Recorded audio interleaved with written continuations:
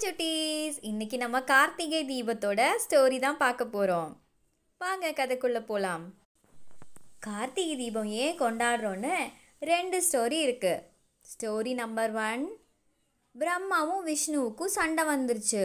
நான் தான் பெரியவன் நான் தான் பெரியவன் சொல்லிட்டு பயங்கர ஆர்கியூமெண்ட் பண்ணி சண்டை வந்துருச்சு. அதுக்கப்புறம் சிவன் கிட்ட போனாங்க.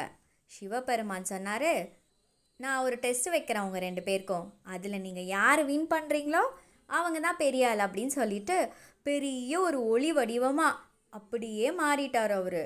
என்னோட காலையும் தலையையும் யார் ஃபஸ்ட்டு கண்டுபிடிச்சி தொடுறீங்களோ காலையோ இல்லை தலையையோ ஏதாவது ஒன்று யார் ஃபஸ்ட்டு கண்டுபிடிச்சி தொடுறீங்களோ அவங்க தான் வின்னர்னு சொல்லிட்டாரு. விஷ்ணு வந்து என்ன பண்ணார்? அப்படியே கீழே காலை தேடி போனார். அதே மாதிரி பிரம்மா மேலே தலையை தேடி போனார். போனாங்க போனாங்க போனாங்க போனாங்க. அவ்வளோ ஹைட்டாக இருக்கார் அவர். ரெண்டு பேர்னாலையும் கண்டுபிடிக்கவே முடியல. கடைசியாக ரெண்டு பேரும் வந்து மன்னிப்பு கேட்டுட்டாங்க. சிவபெருமானே நீங்கள் தான் சக்தி வாய்ந்தவர் எங்கள் எல்லாரை விட அப்படின்னு சொல்லி அவங்க ரெண்டு பேரும் ஒத்துக்கிட்டாங்க. அப்புறமா போய் திருவண்ணாமலையில் அவர் காட்சி அளித்தார். அதனால தான் நம்ம திருவண்ணாமலை கார்த்திகை தீபம் கொண்டாடுறோம். இந்த நாள் வந்து கார்த்திகை மாதத்தில் பௌர்ணமி நாளில் நம்ம கொண்டாடுறோம். திருவண்ணாமலை சிவன் டெம்பிள் மேலே பெரிய தீபம் ஏற்றி வைப்பாங்க. அதுக்கப்புறம் எல்லார் வீட்லேயும் தீபம் ஏற்றி நம்ம கொண்டாடுவோம். பொரி உருண்டை அப்புறம் வந்து என்னென்ன பண்ணுவோம்? பழங்கள் அவல் இதெல்லாம் வந்து நம்ம வச்சு சாமிக்கு படைப்போம். இப்போ ரெண்டாவது ஸ்டோரி முருகர் இருக்கார் இல்லையா?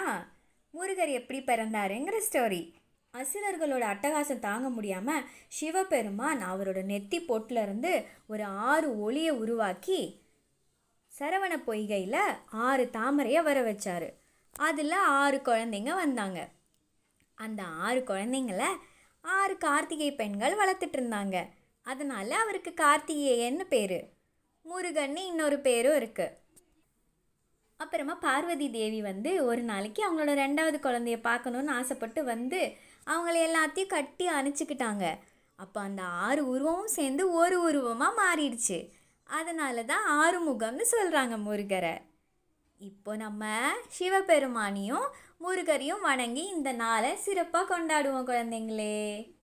தீபத்துலேருந்து ஒளி வரும். அந்த ஒளி வந்து இரு- இருளை எல்லாம் அழிச்சிரும். அது மாதிரி நமக்குள்ளே இருக்கிற கெட்டதை எல்லாத்தையும் அழிக்கிறது தான் இந்த பண்டிகை.